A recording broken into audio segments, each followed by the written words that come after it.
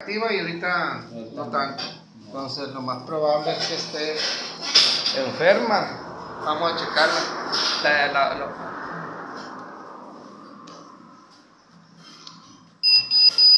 Ahí está. Trae calentura. Trae- no trae infección. A ver. O lo único que causa una calentura, una, una calentura es una infección. Puede ser viral o bacteriana, todavía no se puede saber, ya que los virus y las bacterias causan que se eleve la temperatura.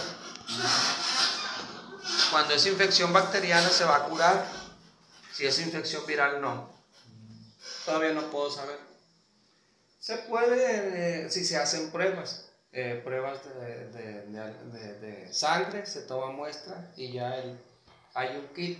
Aunque cuando va empezando no es recomendable, porque muchas veces sale falsa y es positiva, porque todavía no se detecta.